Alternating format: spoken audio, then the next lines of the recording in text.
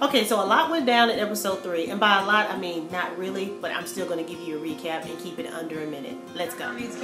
Keep in mind, Arden's wedding is taking place in a horse barn with horses, and I'm sure horse poop. Thank you.